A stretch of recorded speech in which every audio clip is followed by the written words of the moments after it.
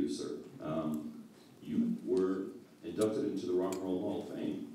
I also read in 2012. We're going to start sort of in the present day, hop around chronologically. if it's okay. How was that? Did you go? Did you go to the I ceremony? did go. Yeah. Yeah, yeah. It was, it was pretty strange.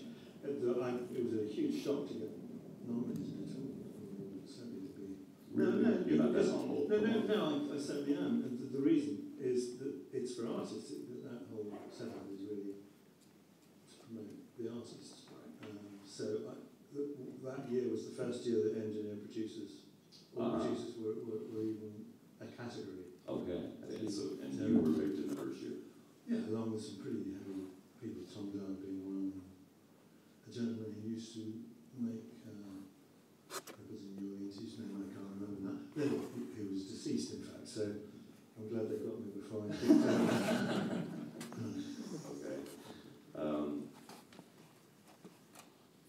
I don't. I suppose the place to start is really the beginning. Um, how did you get into this in the first place? You, your, your first credit uh, that I can find out there goes back to 1964. Uh, you would have been doing it, I presume, for a couple of years before that. yes, the, the, the, back in the very early 60s, mm, engineers didn't get any kind of credit at all, so I started in 1959 as a trainee. I got a job through a quirk of fate, really. Um, my interest, like most of you, I'm sure, as teenagers, was music. Um, I had a little band and I wrote songs and fiddled around, but I never, it never entered my mind that it was anything more than a hobby. It was certainly not a profession I wanted to enter into. It seemed a mile away from me in those days. And I got off the job in a studio through a quirk of fate, as I said. I thought, well, that sounds interesting. And thought that it might be a good way of me being discovered as a singer, which is really what I wanted to do. Uh-huh. Uh, and found that I had a reasonable talent for engineering. Okay. And, uh, It was a classic kind of a, uh, apprenticeship or, or yes, in those days, again, if you've got a job in the studio, you went straight, you were chucked straight in the deep end. You, Right. Not on the console, but as an assistant. Um, and the studio that I worked at, again, by complete quirk of fate, happened to be the best studio, in, independent studio in Europe. And it so therefore had an incredible variety of talent and music going through it. Yeah. And those days, sessions were all done in three-hour increments. Okay. So in a day, you get through a lot of stuff Right. and witness a great deal of hopefully good music, not always. Right. Um, but that was the other thing about the apprenticeship is it, you were chucked in, you had to do whatever was the client wanted to do. Basically. Okay. you, of, you, you very often put on a session where you didn't like the music at all, or the people playing it, or anything else. But you, it taught you how to deal with that and get on with it and find something positive about it and make the best of the situation. Right. And then every so often you were blessed with something really amazing that you learned tremendously from. Okay. Uh, It was a great, great uh, apprenticeship, I must say. Nowadays, unfortunately, that isn't true. Nowadays, as, as you all know, I'm sure, you get a job in the studio now, you're a runner and you're very rarely allowed any control room unless you're sweeping up or picking up yeah. coffee cups or something. I mean, the, the, the It's, it's, I think it's criminal. I, I've always been very against it, but I'm afraid that's the way it is. Uh, and equally, whenever I'm working now, any of the runners that are in the building, I will tell them to come and hang in my control room whenever they want, as long as the management allows them to. right, right. Uh, but very often they don't get to see a session operating at all for a long time. I mean, the classic um, sort, sort of the assistant engineer story that, um, that I'm most familiar with is, is where, particularly in the English studios, it seems to be that, you know, um, your first year is basically making tea. Yeah, I mean, Is that when the I situation? started, in my, in, in my, when I started, you were put on a session, Yeah, you set the studio, um, you cleared it, you set it again, right, you cleared it. You sure. sat in on the session, you kept continuity on the session. You went to move a microphone if you were told by the engineer. right, Other than that, you shut up and sat, in the corner, and you got the odd clip down the air if you weren't paying attention. And that was it. But at least you were in the room watching Right. what was going on. right. And you made a cup of tea if somebody wanted a cup of tea. Um, but you were part of what was going on to a degree because you were able to witness it Yeah. and, and hopefully learn from that.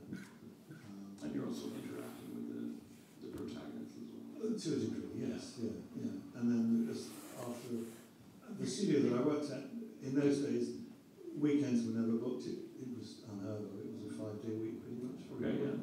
So the studio was empty at weekends and I managed before the management to allow me to go in on a Sunday uh, and bring musician friends in so I could learn how to operate the console. Okay. So I had Sunday sessions every week.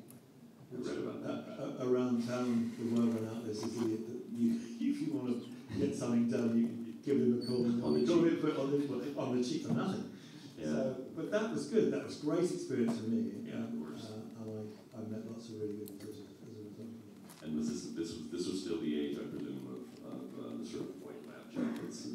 The, the maintenance department in all studios in those days had usually half a dozen guys working in an area away from, from the, where the library building was, okay, uh, who wore lab coats, and they, they would they would develop and build equipment.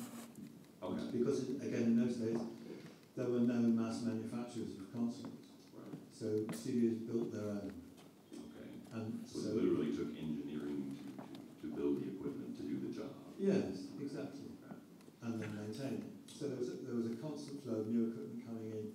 It could be an equalizer or, or a limiter or whatever, but they were they were the the studio sound was based very much on the console that had the same as it is now, of course, but they were far more individual in those days. Okay. And as everything was tube, uh, everything broke down all the time, so they were quite busy. Okay, okay, very good. Um, going from that point, and, and um, what I what I don't want to do is dwell more on the past than you want to. Uh, in, You in, can dwell terms of- whatever you want. It's really what everyone is interested in. Right. I could bore you to death about it. Well, see, I can do it if you, if you just close the curtain here and talk about everything you've done, uh, uh, and I would geek out on that completely uh, for hours on end. But uh, um, already open yeah, that's still. Um, so if you're having the Sunday sessions, and those are those are your sort of playground sessions. Yeah. Um, who were the, some of the people that you were bringing in? Uh, were you bringing in friends, or was it just kind of a general call to arms? It was a mixture. Friends would, would contact other people, and Right. I, so I introduced new musicians each week. Right. Um, Jimmy Page was one of the first lot, first individuals coming, um, who I knew because we lived in the same town. We were roughly the same age, Okay. So we knew each other anyway. Okay. Um, You were aware already that he was. Yes, he was head and guitarist. shoulders above everybody else Okay. that I ever come across as a as a guitar. Um, Nicky Hopkins I met through those sessions. The guy there was there was a blues artist called Cyril Davies Right. who found Yes. out who who came in and cut some stuff with me and he brought Nicky in. And although I thought Cyril was really good, he was, but Nicky was it was Nicky's card marked. Okay. And, uh, and I got Nicky then just come out of hospital. He'd been in hospital for a couple of years. He Okay. very ill. So he was sort of pretty much out of the loop, although he was still quite young. Okay. And I got him a lot of sessions as soon as he was well enough. And Uh, these guys were, were, were they all part of the Blues Incorporated thing? The, That was- the, that Nicky's thing was, was blues at that moment, there were a lot of people being influenced by it. Okay, yeah. Um, we, we had that recently, actually, in my class, talking about the, the British blues group in the late fifties, early sixties. Yeah. Alex, Alexis. Uh, Alexis Korner was the, was the leader of that. Yeah, Um, an extraordinary man, a charming, charming, polite gentleman, and then. really wonderful man. Not the, not the, not one of the most prominent figures you hear about unless you kind of go looking for information about that particular era, Yeah. enough, so. Yeah, because he was the sort of grandfather of it. Yeah. He, he, definitely. Yeah.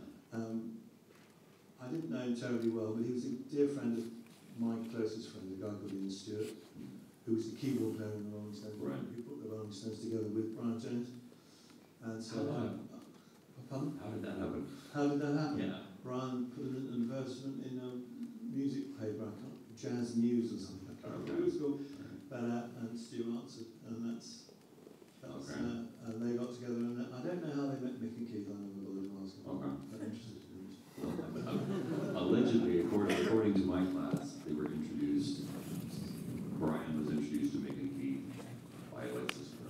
and steps. Yeah, I think, uh, like I said, the grandfather With it, yeah, yeah, yeah, yeah. So he was, uh, apparently, um, Alexis also introduced Jimmy Page to Robert Plant. uh, Did he really? Yes, this is the, this is the information we have in our curriculum anyway. Wow, that's, that's very interesting.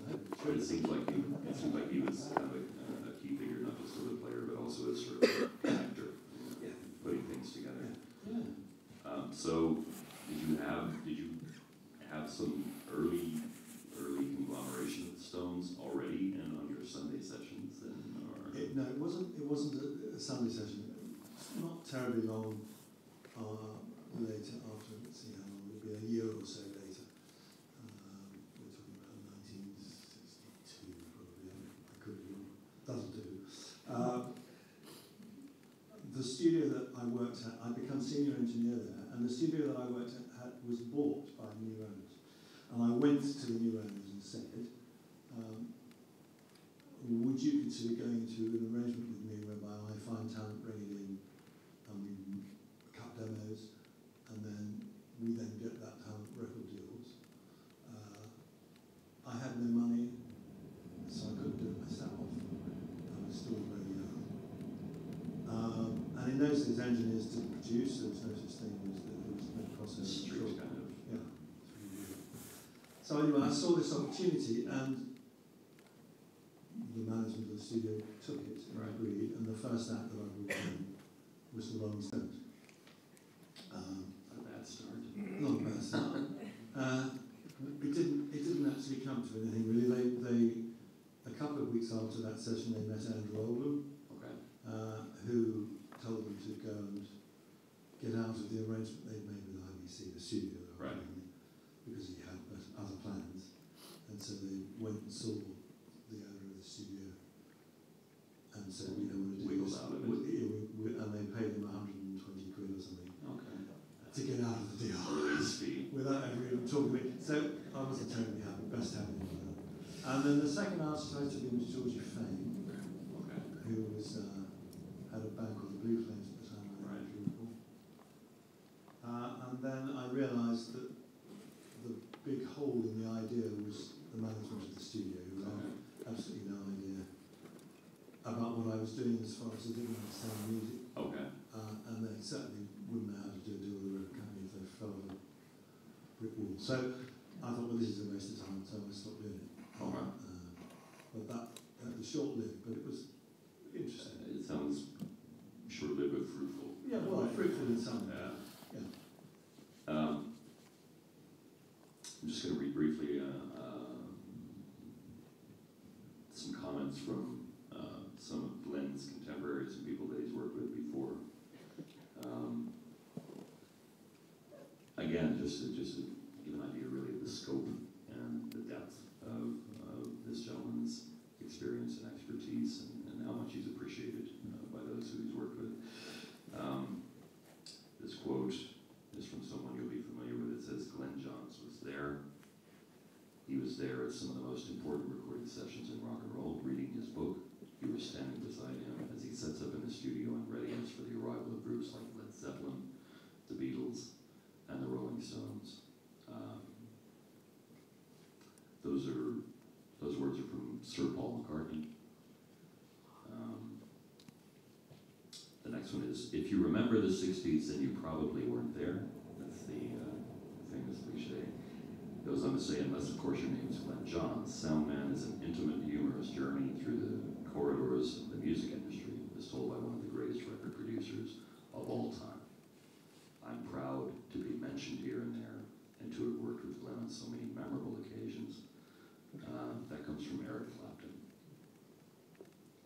And I'll finish up on this bit with uh, another fellow talking. Says, Soundman opens with a declaration. The record producer has to have an opinion and the ego to express it more convincingly than anyone else. So Glyn Johns has stood his ground with a few high-headed rock stars. I must be the exception. I've only had transcendental moments in the studio with Glyn. Returning to the control room after a studio take, I often felt like running. The joy of hearing what Glyn had created out of the glue and string that was the Who was like a drug. He is an artist himself of supreme talent and experience, Pete Townshend. Um, such high praise, and, and, and this is um, in commemoration or, or, or endorsements practically of, of your book, which was published in 2014 or 2015, I believe. 14. 14, yeah. Um, Soundman. Um, how did you to, uh, yeah, what drove you to, to, to decide to write a book about your experiences? Uh, several. Because it, I, I mean, I've looked at your, I've, loo- again, I've looked at your discography and examined it very closely, and I don't see anywhere where you would have had the time to write a book. You, you, Well, no, I wrote it immediately prior to it being published, and I'm not that nearly that busy now. okay. Uh, you're right, I was very busy for a long time. Um, a lot of people who I've known for years have been on me for a long time today. Um, to be honest with you, um, I, as I'm not working as much as I, as I used to, Right. it was a good way of finding out, of spending a bit of time you know, Okay. and, and occupying myself, giving myself a challenge. Because uh, writing, writing anything, a letter is a bit of a challenge. so I thought it would be interesting to see if I could do it or not. Okay. And, uh, Um, I, through the encouragement of the publisher in New York, uh,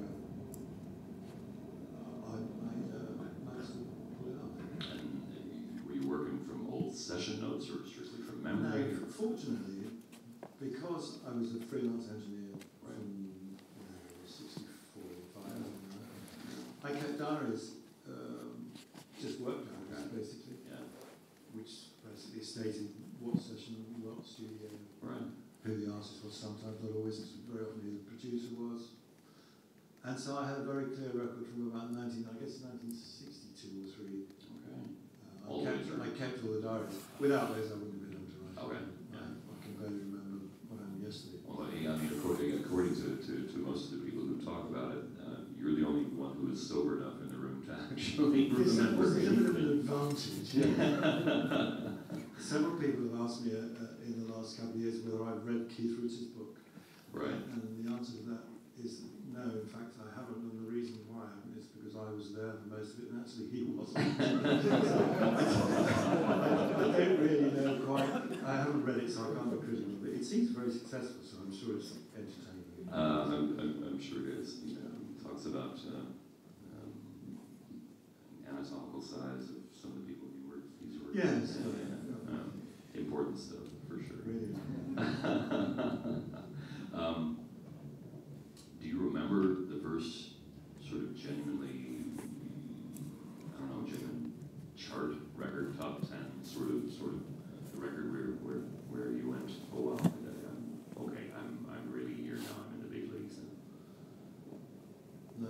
no, there's so many. I mean, there's so, no, it's, it's, so many. it's of them. I promise you. It, it's, it's just that I don't remember. I'm sure there was a massive moment, but I don't recall. Right. Okay. Um, I, I mean, I, I remember several moments during my career where uh, an album made number one, or, or it, it became very successful that I didn't imagine. Because when you're making a record, particularly with an artist who's making their first record, you're enjoying yourself, you're Yeah. big buzz, and very often you you hope it's going to do really well. You've got no way of knowing what it's going to do Exactly. really well. There's so many other factors that go into its success other than what's on- in the grooves on the record. Right. That's pretty old, isn't it, for a start? You remember Not. Yeah, it's not. Uh, so you just hope. I mean, the the first record I produced, I was given credit for producing Right. was Steve Miller's first album, Okay. and That was That's it. I mean, I don't think- 68. Yeah. seven or eight, I can't remember. Probably. Uh, uh, that w- was obviously a big moment because it was the first time I'd actually been given credit for producing. What was the distinction in, uh, back then between the engineer and the producer? What well, was, it's pretty much the same as it is now. Okay. really. I mean, because like yourself, there, there are a lot of, lot of producers who come from an engineering background who sort of sit at the desk and do it all, and then you have the Rubin guys who are, who are sort of more spiritual leaders, or you know That's I an interesting way of putting it, yes. uh, hmm, he certainly dresses the part. Uh, yeah, well, the, the, the job of an engineer is a completely, uh, as an individual, is a separate thing from the producer. Right. And if he's working with a producer, he's obviously he's working under the producer's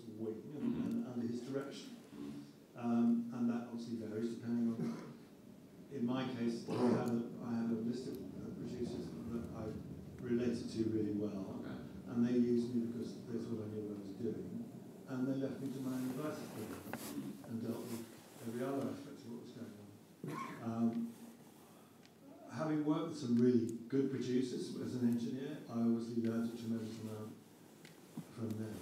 Mhm. And to me, it was a, it was a natural progression to become a producer myself. Um, But what, but what would you, what would you describe as sort of the greatest distinction? The engineering job being uh, clearly the more sort of technical, get this done, set that up, the, uh, well, in my case, um, I think my my if I have any skill at all, I, my skill as an engineer is probably the priority, whatever I'm doing. mhm. So, uh, and if, if I'm engineering a session that I produce, then I don't have to go through someone else to get my ideas on tape. Uh, I don't use it. So, uh, I don't, you're laughing? Um, so, clearly that, that there have been other cases where I've used to produce an engineer because I wanted to get a, a more contemporary sound than mine was at the time because we were all being challenged by what was going on commercially. right. Um, and I found that quite interesting I did quite enjoy it, although now I've gone back to engineering. Right. Um, did you find it that, uh, I mean, in production, obviously, as the producer, as such, you're also having to deal with other aspects like budgeting, Yeah. coordinating and liaising with the record company. Yeah. uh, um, How much, how much of that, um, in your first experience working on the, on the first Steve Miller album, uh, how much of that was kind of a surprise or, or, or, uh, did you, how much of that, in percentage terms, how much of it, of your time did it kind of, did you feel like it kind of Hardly took up? any at all. In, in the Around, he'd already got a production deal with Capitol Records and was, was supposedly producing the record himself. Okay, So he retained me as an engineer. We went into a studio in London. He came, brought the band from San Francisco to Right. London to make the record.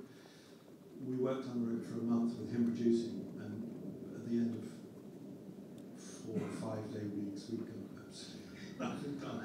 So I, I said, I don't, this isn't working. You know, Uh-huh. I'm wasting my time here. So uh, I'm off, and he went, oh God, what's happening? I said, well, you need a producer. You've got, there's nothing happening. We've got two more weeks to make the record. So he said, well, will you produce it? So that's how I got the job. Okay. So I didn't have a rec- I didn't have a deal, or Right. I didn't have any of that. it's just kind of a handshake, oh, Uh, yeah, okay, you do it. Yeah, yeah. And we actually made that first record in two weeks. Okay.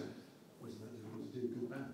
And Yeah. They were very, they hadn't messed around for a month. They were well rehearsed. uh, so yeah, the, the the other aspects of the job, I I've, I've taken my stride just like anybody else. I've had really good experiences, really bad experiences. I was really lucky because I, I was involved as an engineer with some pretty powerful acts, heavy duty acts. So invariably, I would get asked to work with an artist by the artist rather than the record company.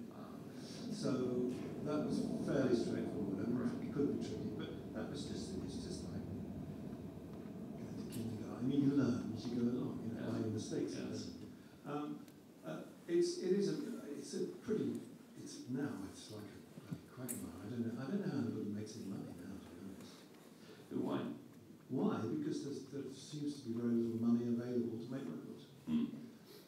Um, I mean, the sort of advance that I used to get, you would be given less than half of that to make the entire record and pay yourself. Right, yes, yeah. So I, I was very fortunate. I hit it at a good, You hit it at a really- rather fortunate time, I think.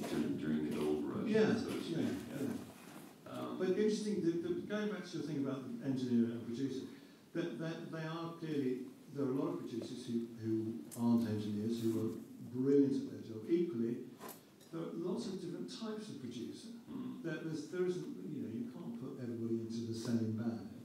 There are producers that are great at picking songs, uh, but for people that don't write their own, uh, and have very, other, very limited skills in any other direction, but they're great at picking songs Okay. for the artists. right, Um, there are others who are wonderful at creating a really good environment for the artists to work in.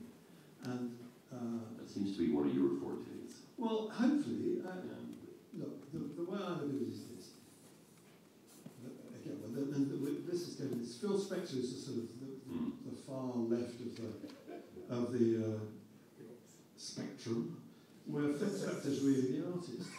And he uses the artist whose name's on the label as a vehicle to Right. get his rocks off, really. You Um, can almost say he's to the far right of the Actually, spectrum. yeah, it's what I say to the left or it's far right, whichever way you want. It goes on the bloody edge, you know. Yeah. So, okay, good luck to him, that's fine. He, he's very highly thought of. The dictator, he has Yeah, a reputation as a dictator. Yeah, absolutely. And, and he got what he wanted, and it was very successful. Unfortunately, the people that he used as artists during that process didn't necessarily benefit. Maybe they would never have been that successful without him anyway, so it's difficult. We might don't see the part going there. I've always seen the job, again, I've been really fortunate to work with really talented people. And so my job is to facilitate an environment for them to work in where they're really comfortable, where their confidence isn't rattled. Um, you would never, I, mean, I would never dream of bullying somebody into altering the intro or, or whatever the idea is. I would, understandably, part of my job is to come up with suggestions as to how something might be different or be approached differently, or maybe there could be anything from the tempo to the where the bridge comes to anything you like. Yeah. But it's always a suggestion. It's Right. never a, and, and if the artist isn't comfortable with it, then there's absolutely no point in pursuing it. Because immediately their interest in whatever you're talking about is diverted away from being confident and comfortable. And they're not going to perform whatever you're suggesting with any degree of uh, enthusiasm. So you're, you've already lost the battle. I mean, you're, you're, Yeah. it's not what you're there to do. So obviously the, the key is to work with people you respect enough, who if you give them an idea and they think it's nonsense, which by the way, the record I just made with Eric Clapton, which was the first time we worked together for 40 years. Uh, we did Slowhand was the last album I in the 70s. Well, Nearly okay. everything I said- That one did okay. That was all right. That was all right. And in those days, he did what I bloody him. Uh, but uh, uh, on, part of my on, on, on I still do. Everything I said, he just disagreed with. He Yeah. chucked out. It wasn't anything. So I might as well not have been there, really. I mean, I engineered it, but he produced it, really. Okay. And I was happy for that album. It's, Yeah. it's his record. I mean, Yeah. that's, the, that's the key thing, if any of you want to produce. You have to remember that the artist that you're working with, it's their life that you're dealing with. Of course it's to do with your career, but you're going to walk out of the studio at the end of the album, and hopefully the next week you're going to start on something else, and you know you start the process all over again in a completely different way, perhaps, or whatever. and yes, your your your reputation is is going to be uh, judged on the record that you're making with that artist, but it doesn't alter the fact the most important thing is the artist ends up feeling completely satisfied with what you deliver, and not the other way around. This is what I meant when I, when I said it seems to be your forte to, to create an environment in which the artist is able to flourish. Well, surely that's And that, it's, that's common be sense. yeah. Recording is common. All of this is common sense. It's having it clever. I don't know. It's you know, engineering is common sense. Engineer, there's no. All right, you can nowadays. It's a lot. It seems to be a lot technical. You need to understand computers a lot more and all that sort of stuff. Okay, that's one thing. That's still really got nothing to do with literally getting a good sound from something necessarily. It doesn't have to be complicated. You don't have to reinvent the wheel every time you walk in the studio. Right. Um, we will certainly uh, expand on that on that uh, Okay. when we when we get to the uh, micing up the drum kit. We'll do that in a little bit. All right. Um, um, you've spoken uh, often about the psychology involved in, in producing, and I think you were just kind of referring to that now in a way. Um, even citing one particular instrument when you intentionally pissed off Eric Clapton uh, just to get him to play a better solo. Um, taking his own words from before, Clapton says, you know, if you remember the 60s, and you probably weren't there, unless, of course, you were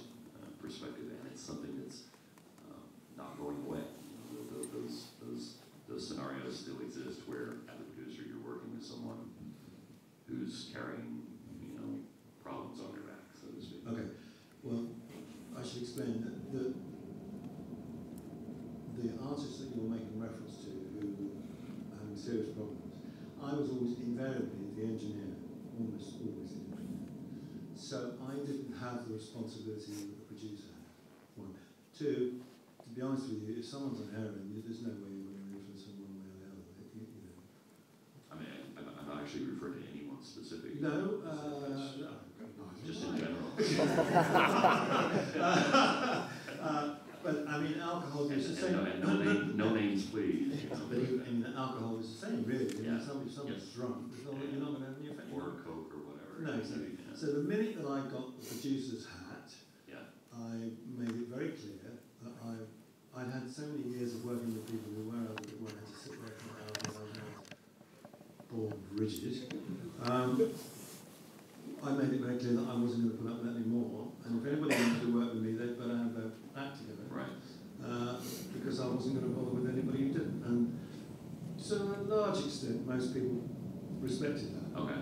And so, I would, again, I was able to contribute in some way but that they understood because they were relatively straight. There were the old one who used to sneak off to the moon without me knowing. But I, I always spotted them going, you know, I always spotted them coming back. But they were, it would be one member of a band, maybe, you know. Okay. uh, and, you know, you'd have to roll with it, really Yeah.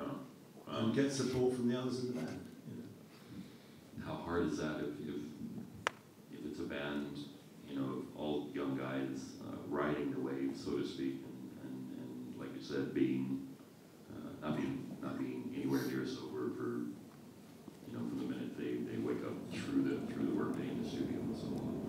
Hey, Have you, have you, have you had sessions completely fall apart? Yeah, Yeah, okay. yeah. It's very, it's very, it's horrible. It's it, it's horrible on several levels. It's not particularly good for anyone's um, mental approach to what's going on, for their confidence. And equally, it's horrible to witness somebody who perhaps you've known for a long time uh, and care about killing themselves, or Mm. getting close to it. Mm. Um, and I've witnessed that on more than one occasion, and, and it's, it really is extremely unpleasant. And you hope that everybody involved will band together and Right. try and sort them out. Right. Unfortunately, as history will tell us, that doesn't always happen. Always happen. No. Um, so your policy as a producer is leave it at the door, and we're working together, leave it. at the Yeah, door. and, and actually, if someone's got a serious habit, I won't even talk to them in the first place. That's Okay. the point. Because, again, we're going back to somebody feeling comfortable. If, if they're used to being high and that's their Right. their Their comfort normal. mod, their norm, and you're taking it away from them, you've you've played it before you've even started, really. Right.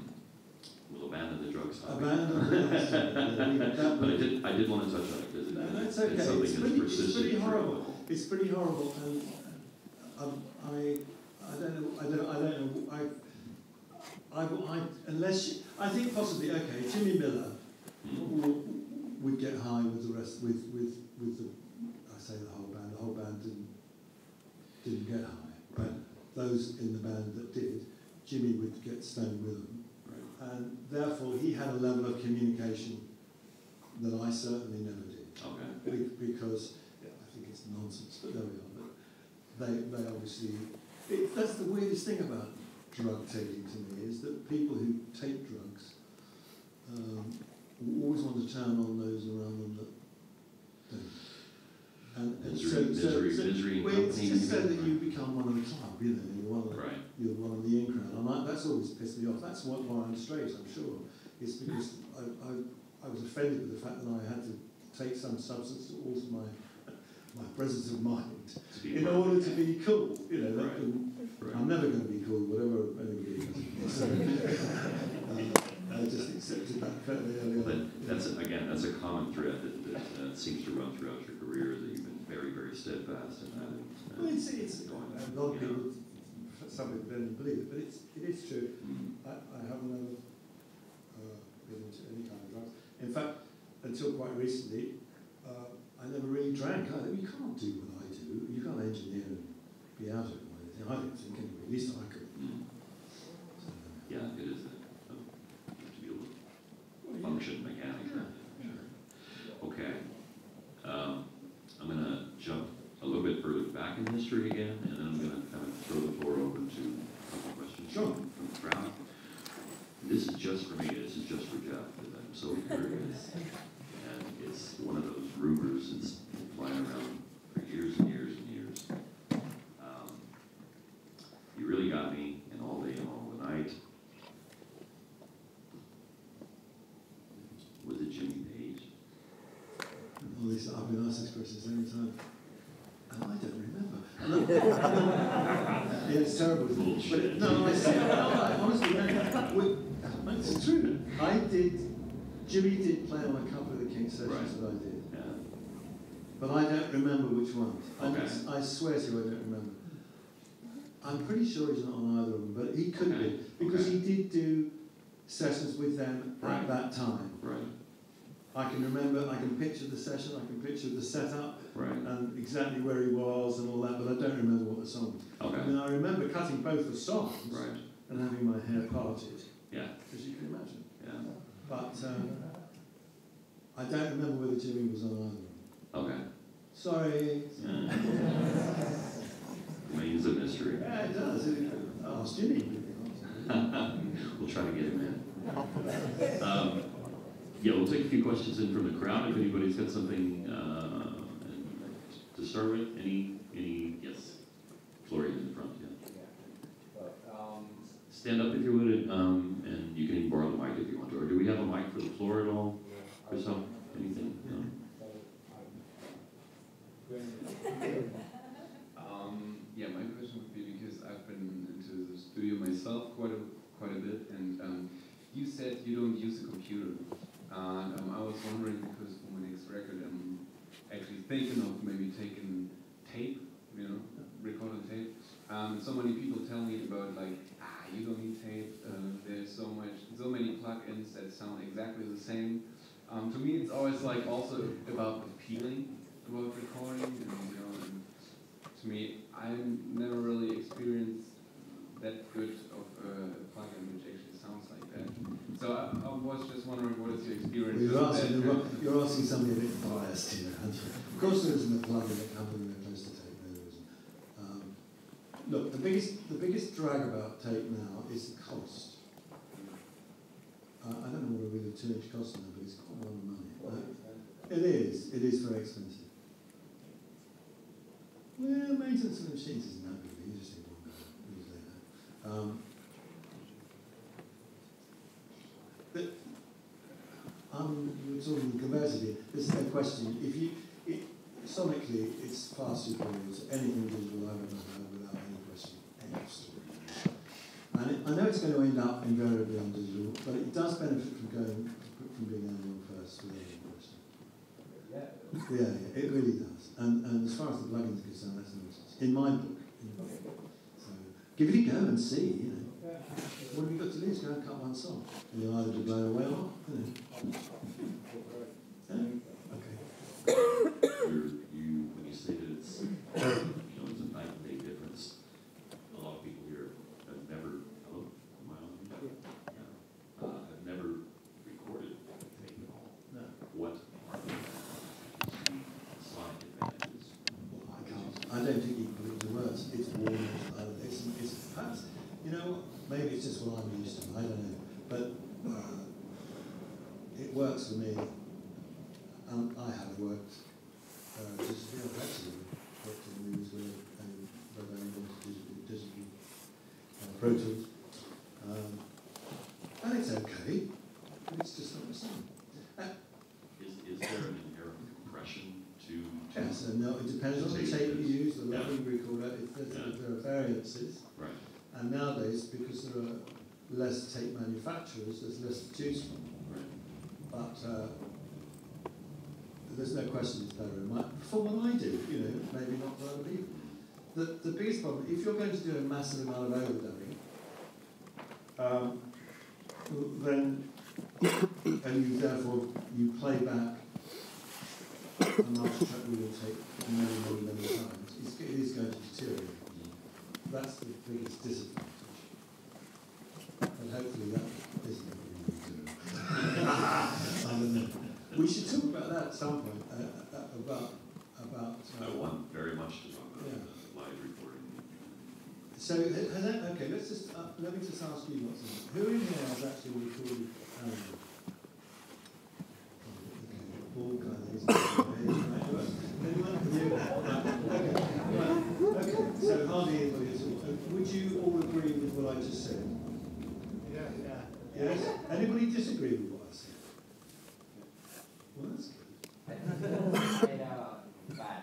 Uh, I think both words have Yeah. advantage and Yeah, exactly. If you have to do a recall with or another year, you won't be able to review exactly the same.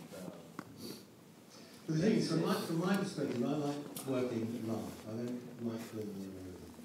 So I will set up a live rhythm section with the vocalist, with everything that I can get my hands on, basically, and record in one hit.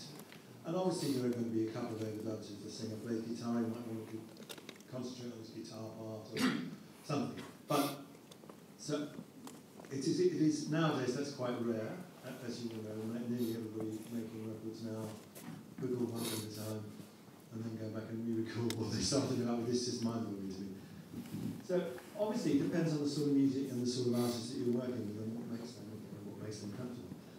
My the sort of, my sort of general observation is the more opportunity you give somebody or a group of people to mess with something or not make a decision at the time, I don't know that that necessarily helps the creative process at all.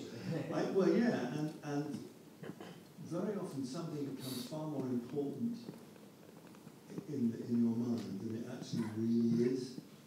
I mean, gig, I'll give you an example. There have been occasions where I've been working, maybe the bass drum sound isn't great, okay, got the band playing brilliantly, you've got everything's going, the, the arrangement sounds good, the bass drum sound not quite what you really love it to be.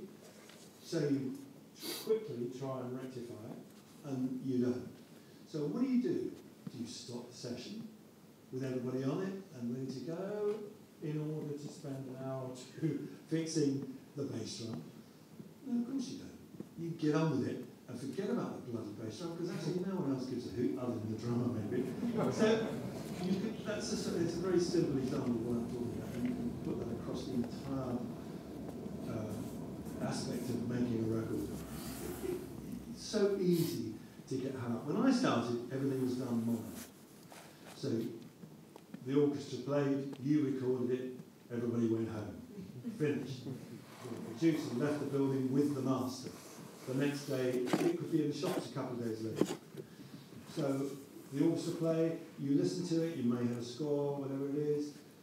You try and get the best sound you can in the couple of run-throughs you've got. You've got three hours, maybe four songs to do in three hours. You haven't got time to mess about. You better be on the case. So decisions were made, and because you had no alternative but to commit, you didn't get hung up on it. And that's so being taught that way, I still apply those principles. I still apply those, those principles to a degree. And actually, a lot of what we did in those days in mono sounds pretty good, you know. I mean, you might have missed the odd cue, but really it doesn't matter.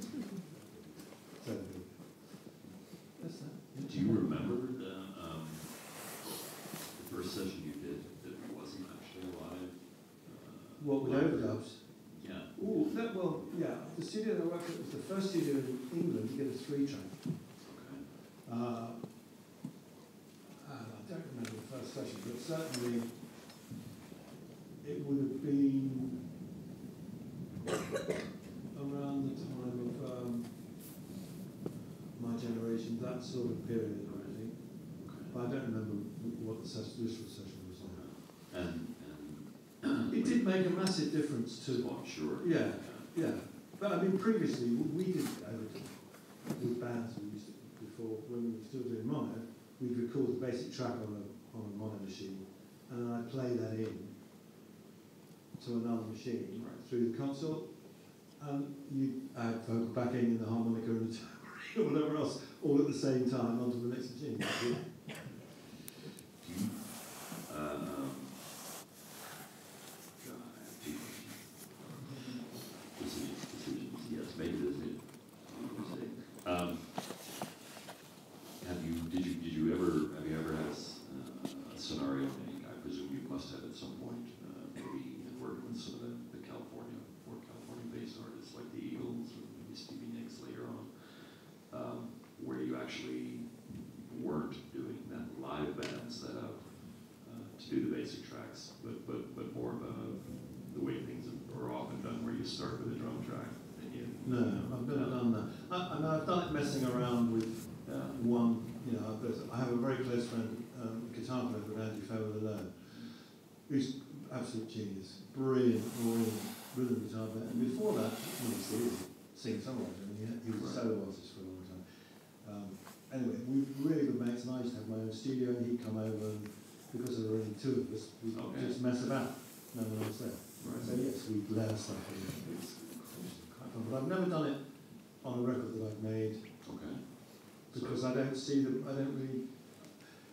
My my I, lots of records have been made that way brilliantly. I understand that. It, it, it's, it's it's still alien to me. One of the buzzes that I get out of doing what I do is watching the interaction between musicians and listening to the to the result of that inter- interaction. And very much part of the job as a, as a producer, if you're putting a rhythm section together, is not only the, the abilities of each individual that you're picking, their personality, and how they'll fit with the others, and how they'll possibly be inspired by the others to play.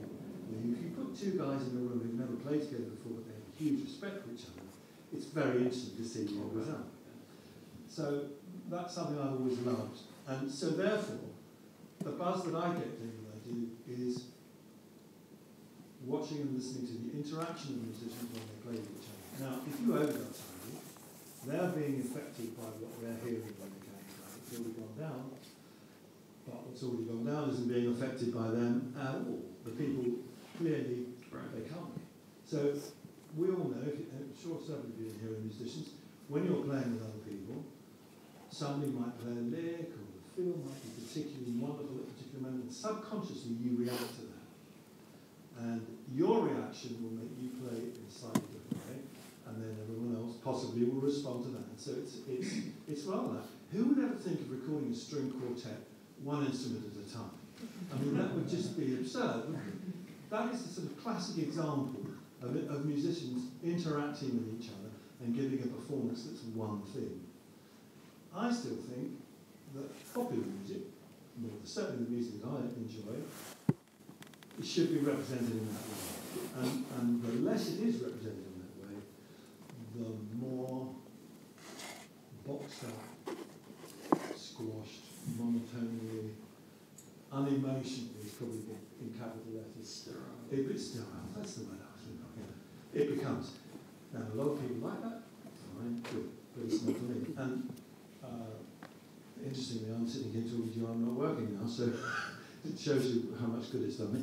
Uh, um, I, realise that possibly my my sentiments don't quite fit with with the commercial and the popular music today, but I'm quite happy with that. Um, I don't know, I mean, you, you, you've also worked in recent years with Band, Band Horses, Yeah. with Ryan Adams. Yeah. uh, Yeah, fortunately, the, the, the Ryan Adams record in particular um, lent itself. He's, he's a brilliant singer-songwriter. I've always worked with really good songwriters. Um, that, that record and his style at that moment in time suited the way I worked really well. Yeah. Wonderful musicians in a room with him, two takes, move on. Right. Um, he doing live vocals? No. Yes? Yeah, really? The whole thing's live. Wow. The whole thing is live. There you go. Yeah. Word to the wise, boys and girls. Uh, I tell you what, the other thing is, sorry to interrupt you, but it's not very often that you all know this thing around and talk to you about what you're talking about, but I, I just suddenly thought of something. When you're cutting something, if you are fortunate enough to become a live section, it makes a huge difference if you can get some kind of vocal going on at the same time. Sure. It, it, it makes a massive difference. And I've, I've done loads of stuff where the vocalist, the song's not been written or, or the vocalist wants to concentrate because they're a musician as well, they want to concentrate on that. And you can do it, but it's, it, in a way, it's better to have them mumble something and play it and have them over the rest they're playing. But on Geet Stats, it's called, everything's called. Sorry, I'm, Well, that's what, that's, that's what we brought you here for, battle. Please, Battle. please battle away. Um, we'll throw it back out to you guys. Yes. second Well, there's a microphone here. Thanks, we've got a, got a mic for you. Hi guys, how's it going? And I wanted to ask, um, as a producer, have you ever crossed over into the world of songwriting with the artists that you've been working with? Very rarely. Uh, very rarely. I made the odd suggestion. But again, I, I refer back to what I was saying earlier. I've been really lucky. I've, I've worked with some of the best songwriters around, and so I wouldn't dream of interfering with anything they suggest or they're doing. That's very rare. Yes, they're not rare. Thank you. Anybody else? Yes, Chris. Uh, you've been made famous for many different projects, obviously, but also uh, famously for the uh, three-point lighting system. Kind of a technical question, but there's a lot of lore that comes comes along with that, as far as uh, where to put the overheads and the, the centimeters and behind, should be behind it over this and that. And you can find so much on the internet about the actual the Glyn Johns method, as it's called. Um, can you tell us something about how that came about and, and Yes, I can tell you some of that. that stuff? Okay, I, I always used to use three microphones on the drums from the very beginning, uh, from the very early 60s. And the studio that I worked at had, as most studios in those days, had a really good variety of condenser microphones. Um, U47s were not like hen's teeth like they are now. And I always used to use 47s on, on the drums. And um, I used to put, well, I, let me walk over here. Let's do this, yeah, this was part of what we wanted to do anyway, so, uh, this is the Glyn Jo- Glyn Johns method. The story is, the story is that this whole technique, the stereo technique, came about on, when I was doing the first Led Zeppelin album. And um, I always used to put a, a floor tom somewhere here, and I put it back over the top of the drums here. Don't forget the microphone, can you hear me without the mic? Yeah. So, uh, as I'm sure you all know, uh, the 1947 has a cardioid pattern that sort of looks like that. Uh, it looks like that. At the top of the microphone, sort of like that. So it looks, if you have it at about this height, it looks quite nicely. So you, you've got, you know, and the thing is that you might kick from a distance like that, not necessarily with the floor tom the way I used to do it, um, you hear the balance of, the, of what the drummer's doing. You're not creating the balance of what he's playing with 94 faders, 74 microphones in the control. Um, so we're going back to the early 60s, two Neumanns and a bass drum mic, and sometimes, very rarely, years later, we'd introduce a 57 on the snare if you need, very rarely need. So I've got this set up with Bonham. I've got him on a roster I'd, I'd never heard of John Bonham. Was the first Zeppelin album. Walked into the studio. I've known Jimmy Page for years. I've known John Paul Jones for years because he was the number one session bass player in the United Kingdom. And uh, we were mates. And Jimmy rang me up and asked me to do this. He said, I've put a new band together with John. Do you want to do it? Yeah, I'm there. So I turn up on the first night, and there's Bob. So we cut the first track. He completely blew my socks off, as you can imagine. I've never heard anything quite like it. And uh, we cut the track. No, I don't. it doesn't really matter. One of the tracks on the first album. So we played it back, and everybody was marveled. So Jimmy said, "Oh, I'd like to put an acoustic guitar," and he played the electric on the bass. So I said, "Okay." So I got the 47 that was set up over the top of the pit, took it off the rostrum, sat it down in the front on the floor, got an acoustic guitar, and we banged an acoustic guitar on it, and then it took 10 minutes. Okay, next song. So I take a microphone, put it back here. They start playing the next song. I go back in the control room, and the microphone that I'd taken from the kit, I'd assigned to one side of the stereo, because that's where I wanted to hear the acoustic when I was over doing it. So when I lifted the fader back up, it was still over on one side of the stereo. The microphone that was on the floor tom tom, which was sort of here, was still in the middle where I'd had the drums. In those days, if I remember right, I think it was probably eight track. Bass and drums were recorded on the all on the same track in mono. Bass and drums. Bass and drums, yeah. Um, pretty sure. sure. Doesn't matter. So all of a sudden, I'm hearing this incredible drummer, half stereo. Blimey, that sounds interesting. What would happen if I put this microphone over there? And so I did. And obviously, having both mics completely in stereo on either side was ridiculous because the drums sort of dominated the whole thing too much. But I, so I just moved them in a bit, and there were stereo drums. I didn't invent it, I didn't come up with it, I fell over it. And uh, fortunately, it worked. Um, you know what, I've often thought if it hadn't been Bonham, I probably, it would have probably gone right by me. But because he was giving me such an astonishing sound there. The whole thing about this mic technique is quite simply this. If you're fortunate enough to have a really good drummer, all drummers have their own sound. They tune their kits in a particular way, and that's part of who they are and what they deliver. I've never been a great believer in, in messing with anything too much to try and create something that's totally different from Mars. My deal is to try and service the artist in the best way I can, the musician the best way I can, by giving them the best sound, by capturing the great sound that they're giving me. And that's the trick, not trying to make them something they're Again, I've been lucky to work with some pretty interesting drummers, so I've had some pretty cool people to do. This technique captures what they do. There's nothing clever about it at all. And it's common sense.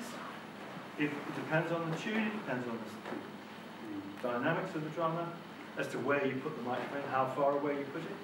Uh, we can get a decision. But these are not the right, these, these microphones, I think, are way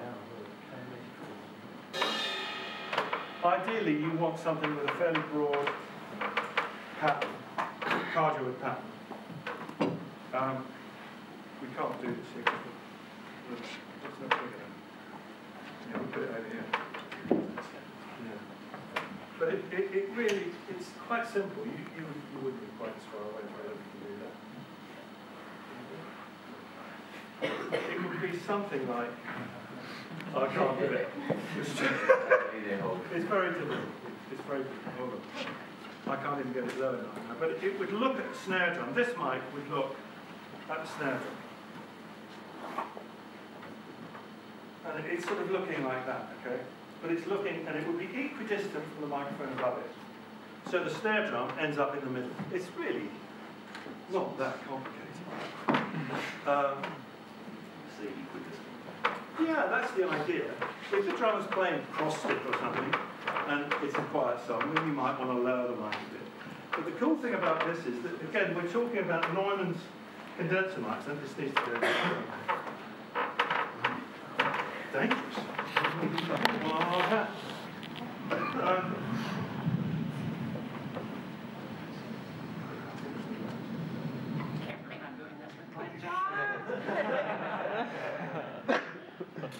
so you're really you're relying on the. I mean, 67s are probably the best, and I know you can't find them now. Uh, 87 is pretty not not nearly so good. Not 47 is okay. And telephone GBC one is not bad either. But they've all got a similar pattern to them. As far I, I, I wouldn't. I guess you could try all kinds of them. I think my sons even use PGS Colt, this ribbon. Um, oh well, no, no, you shouldn't have to know that. No. So again, it depends on the way the guy sets the kid up. You might ask him. He might have many more cymbals than this, and so. Uh, this mic in particular is going to be for bass drum as well, so it actually will help the bass drum sound quite a lot. And it's just a matter of messing with it. You, I swear, you lift the faders up. Next. It's there, there, it's either there or it isn't. And if it isn't, the snare drum might not be tuned right, or you might want to move them slightly, but it's common sense. Not complicated. And this is, this is essentially the, the, the setup you use obviously with Bonham. Yeah. I've used it with everybody. It's never altered, it's really important. Keith as well. Keith as well. Yeah. Even with the, with the whole base. Yeah, Larger. two bass drum mics, uh, instead of one. Still, still. No, it's two mics. I did it on, I mean, I used to, I went on tour with The Who in America, and when I wasn't recording them live, I'd go out and do the live sound, and we used two, two 67s for the live sound in, in in a 90,000 seater auditorium, it worked great. Were you there for the gig where he fell off the stool and No. and Townshend went to the mic and said, can anybody play the drum? I just, well, I wasn't, I was talking about San Francisco, yes. And somebody said, I can. Oh, oh. Yeah. So there you go. That's it. So uh, the, the, the, the Neumann would be that way here, right? Looking at the centre. It's really, really simple. Loads of people have, have seconded for me on sessions over the years in various studios around the world, and they've watched me do this. We've made the record. Da, da, da. And then I get a call about a month later from the second. And he's gone, well, I tried your working, but it didn't work. And the reason is because they don't believe it's going to work, although they've seen it work with me. But if it doesn't sound brilliant immediately, they think, oh, well, I'll go back, I'll go back to my safety, up the microphone and everything will work. But I promise you, if you've got a good drummer, this definitely works. Well, listen to some of the records we're talking about, and you'll either like it or not. It's, there's nothing clever, I swear. It, it, it's, it's, um, it's just common sense. Depending on, on a big room. No, you, that's obviously the acoustic space that you're working in now is tremendously. Up? Um, when I'm when I'm recording a loud rock band, I set them up as if they're on stage, basically. And as long as you haven't, I set them up usually facing me, which does mean that there's a control window uh, in front. But as long as it's not too close, you should be all right. And if you set the amps up so that they're parallel with the bass drum, Didn't mean to do that. Um, then everyone thinks also that this is the separation would be terrible and not true. Is that why the album's called Let no, no, what I bash my hand on all these things? No. Uh, so I would screen the sides of the drums probably this high, and if there was room behind, I would probably put absorbing screens behind, not two them, not great water firm, but you can tell by talking, you can see how the acoustic is. But just to contain it slightly, and I might well put a couple of those screens in front and open by sort of that much. And then the guitar can face down the room and they would probably, again, they'd be open at the front, each partition low screen, sort of be low screens there and there, uh, amplifier here, low screen, amplifier, low screen. Um, so that, that, there's a degree of comfort in the because that's how I'd set them up, you know, the bass player goes on the, on the left on stage, I put him on the left in the studio. So there's a degree of comfort. I am also a firm believer in not putting amps off in rooms. I think the artist has to be close to his amp, which has a massive effect on everything. Uh, Very strongly that it's far more convenient with eyesight. Everyone has good eyesight. So they can communicate with each other easily than often in another building, in a loo or whatever it is. Again, if, you, you're fortunate enough to have a room, a space you're able to do all this in, if you're not, then you have to, you have to make do with what, with what you're given. So there you go. It's really not rocket science. Well, it, And I've heard people. You've done I pretty you- well with it, let's put it story. that way. I I made this record with Ryan Adams, and I used a drummer called uh, Jeremy Stacey, who, who's a fantastic drummer. We set up. And ran the first song down before they hit the chorus, lifted the faders and done. His sound was just He gets the best sound of the world. That was the total amount of time I spent getting the drum sound on the whole album. And we had a ball, uh, finished the record. A couple of days later, he calls me up and he's working on his name, the Basil, I can't remember his Noel. Gallagher? What, darling? Noel Gallagher? Noel Gallagher, exactly. He's working on Noel Gallagher. No. I'll take it with me everywhere. Uh, uh, and he said, oh. So I, I, I turn up, same studio, same room. I walk in, there's two engineers and a producer. No Noel, which is. Um, the, the room is full of drums, right? He's got a kit set up, and there are 18 mics on the drum kit. He's been in there for two days, and they haven't recorded anything. Yeah, same room, different music, I guess, but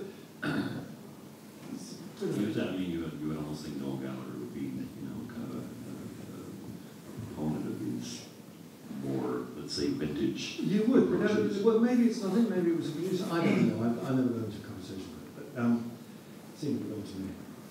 Uh, again, they're getting. They spent two or three days getting the drums on one song, uh, changing hi-hats, changing this thing, changing that, changing the microphone. Maybe It's they like didn't you know. It's not. pay- maybe they're getting paid by the hour. Any, uh, any other questions? And then we'll, we'll start to move back to, to, uh, topic.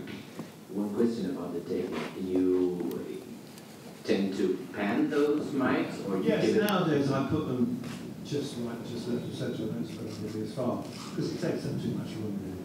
Okay, I mean, listen, it depends on the music and what else you put in. you, you get my, uh, sometimes the feeling that, uh, so better, uh, you use another mic too, if you get the feeling that you're missing something, so you just do fifty-seven maybe on the snare really, but bass drum sometimes? There's a, there's a mic on the bass drum, yeah, Okay. absolutely. Ah, okay. And I, and I very, I very often put a snare drum mic up.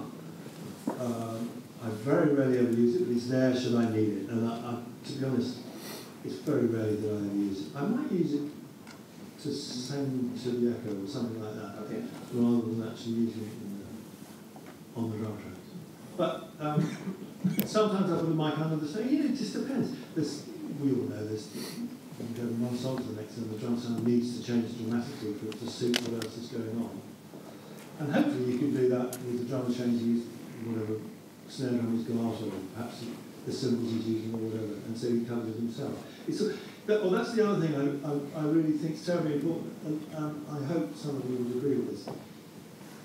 Um, I- it, it, I very rarely visit other people's sessions, so uh, perhaps this isn't accurate, but it strikes me that in, in a lot of cases, engineers will listen to what they're being given in the control room by lifting on the phone, or the mic, the microphone on, whatever it is, and, and they're listening, the first impression of what they're being given is through what they're doing, their microphone and their stereo positioning, etc., whatever they're doing technically to the signal.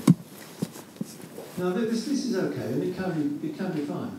But I strongly recommend if you feel that there's something amiss with what you're hearing, it isn't quite what you want, you go out into the room and you listen to what the individual is giving you live in the room. Because I guarantee you it won't be what you think it is, having heard it through the, what you think is wrong.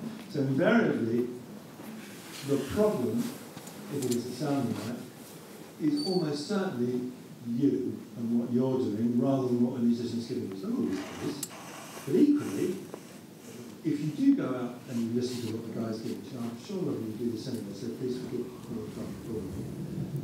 You can, you can adjust what he's giving you slightly to compensate, to make it what you want, rather than you reinventing the wheel and starting plugging a load of EQ and limiters and God knows what else in to try and be. You know, that's not what it's about. Fix it at the source. Yeah, well, fix it. And obviously, a lot, a lot of you, I'm sure, are, are recording music where, where this wouldn't apply it's completely different. So forgive me for weighing on. But if you are doing what I'm talking about, I, it's really, really important to go and listen to what the person's giving you before you make any adjustments yourself. Because invariably you'll hear it much, it is sounding a lot better out there than it is in, in the room. So you've got the wrong mic or much in the wrong position, Right, or you've already EQ'd it and not EQ'd or whatever. okay. Uh, Little bug in my ear telling me we're gonna start running short of time, so there's a couple of things I want to cover. Uh, if I understand correctly, you're also not necessarily a big fan of close miking amplifiers. Yeah, you want to leave some space, yeah. Yeah, I, I learned a fantastic trick. There's, an there's an engineer in America called Jack Joseph Puig. I don't know if any of you've heard of him. He's, he's, I did use him on a couple of records. And he taught me something. This is and quite what you do. I mean, I've recorded um, Won't Get Fooled Again, for example, the rhythm part Pete plays on that. He was using quite a large high amp. And I used a 67 on that, but I used it from about that far away. Okay. Again, it, it, it depends on the level the person's giving it. Most people prefer to use a 57 or, or, or something really directional. And obviously, there, there's a thing called apparent level. I don't know if you're aware of that, but uh, most most instruments. I thought you like to know what you're doing, but uh, forgive me. Um, most instruments are designed to project sound, aren't they? I mean, you, you, if you if you hear an acoustic guitar, you don't hear it from that far away from the hole. You know, that's ridiculous, isn't it? Well, that's where nearly everyone puts a microphone. So already you're you're not doing the instrument or the player justice. So with an acoustic guitar, uh, it stands to reason that you need to be some distance from it before the sound is actually expanded to what it should be. It's, it's common. It's all common sense. It's not. But we close miking was come up with because people started playing that, and they were worried about direct uh, uh, separation Okay. in the studio. So I still use lack of separation to get my sound, as Right. a lot of people from my era do. But that's that's how I'm going. God, I'm really rambling on. I? Sort of distracted away from the point. But so if you consider any instrument that you're about to record, and that includes an electric guitar and an amplifier, the sound is going to expand out of it with, with some distance. And that's how you, you think by putting a microphone that close to something, it's going to be louder. No, not at all. Quite the reverse. Or have more body. or have more body. Again, quite the reverse. But if you, there will be an optimum moment where the sounds develop, and that will give you the apparent level that will actually give far more substance than without. Let me just explain quickly Joseph's uh, mic technique, which I know we're running short of time, but this is really cool. Okay. I, I'm not, apparently somebody else here is. Like I said, we could go on to this for hours. Well, we'll, go, go cup of tea sometime. Um, okay.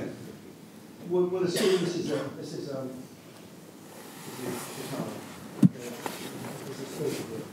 What you do, is first of all, you get the guitar player to unplug, because otherwise you'll kill yourself. Earphones, crank the mic amp in the control room, turn up the amp, flat out, you get an element of hiss. Okay? Take the microphone, got the earphones on, and you just move it, and you'll find the axis where the most is coming out by the resistance is. It's, really, it's not always where you think it's going to be out. And very often you can't actually see because it's plot over the speakers. Anyway, so you can't really tell accurately. But this is really accurate. This, it's absolutely good. It's so simple. It's like defining it, and once it's there, jab yourself. Straight on. You know, if you went near it for the next week, kill you. I mean, it was just ridiculous. Get. But that's a really cool tip. Really cool tip. for- for the girl. And a lovely ten gigs. Watch my count. Um, We'll wrap up, if it's okay with you, with um, two questions that, that uh, obviously, I'm, uh, again, I'm, I'm very curious about. I mean, you did work with Bowie again before he was Bowie.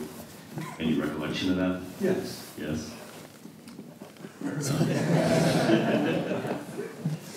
We'll leave it at that. He was an obnoxious little fucker. Yeah. It was only about Not 12 or surprised, something, yeah, yeah. not surprised. But, uh, that, that, that recording for, uh, is, you've got a habit of leaving me, I think, it's called, or, yeah. I, I just remember him, him being an obnoxious little fucker. Okay, very, very, very, very, very good. It's, an- it's an amazing recording. It sounds almost more like the Who than the Who at that time. Really? Yeah, yeah, anyway, you, yeah, you did that. Um, but I was just curious, um, are there any artists that you never worked with that you wish you had? Uh, I'd love to have been a record with Bruce Springsteen, but not a rock and roll record interesting. He's, he's quite a folky old Springsteen. Yeah. Love to have made acoustic records with Bruce Springsteen. Several years ago, Have you told them? well, and several years ago when, when uh, things had gone quiet for a while, uh, Um, I think punk was sort of riding high and I went away. uh, I the Clash. well, no, the Clash was they A little bit later, educated. They educated. Uh, and I rang, I rang Jon Landau, who, who's um, Springsteen's manager, and said, "Well, I'm just going to get this off my chest. You know, any chance?" And of course, he laughed on the phone. And said, that the. So, I, I, I, I would love to made a studio album with Dylan. I, I recorded Dylan live a couple of times, made a live album with him, but um, I've never uh, worked in the studio. I, I would love to have done that.